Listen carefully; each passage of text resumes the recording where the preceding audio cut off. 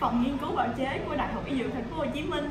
Đây là nơi mà tụi mình đã thực hiện phần uh, nghiên cứu điều chế của đề tài uh, điều chế vi nhũ tương chứa dầu riềng và tinh dầu hương nhu trắng. Để nghiên cứu điều chế vi nhũ tương uh, thì phương pháp mà tụi mình sử dụng là chủng độ nước. Quy trình chủng độ nước diễn ra tương tự như sau.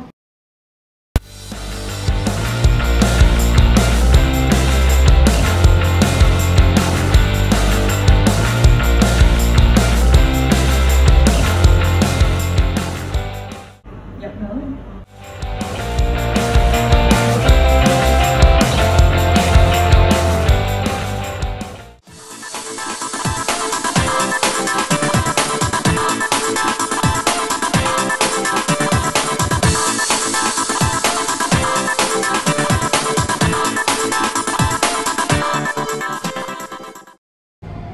Các bạn đến với lớp ký sinh trùng của trường Đại học Y Dược Thành phố Hồ Chí Minh. À, đây là nơi mà mình đã thực hiện thử hoạt tính sinh học của đề tài. Giới thiệu em. À, mình xin chào mọi người, mình tên là Huy, mình là hiện đang làm monitor của chị Kim. Là monitor là làm gì? À, mình là monitor của chị Kim thì chị thường cho mình những cái nhiệm vụ như là đổ môi trường rồi à, pha máu với cả cái à, nóng cho chị Kim. Điều quan trọng nhất là mình là người hay rửa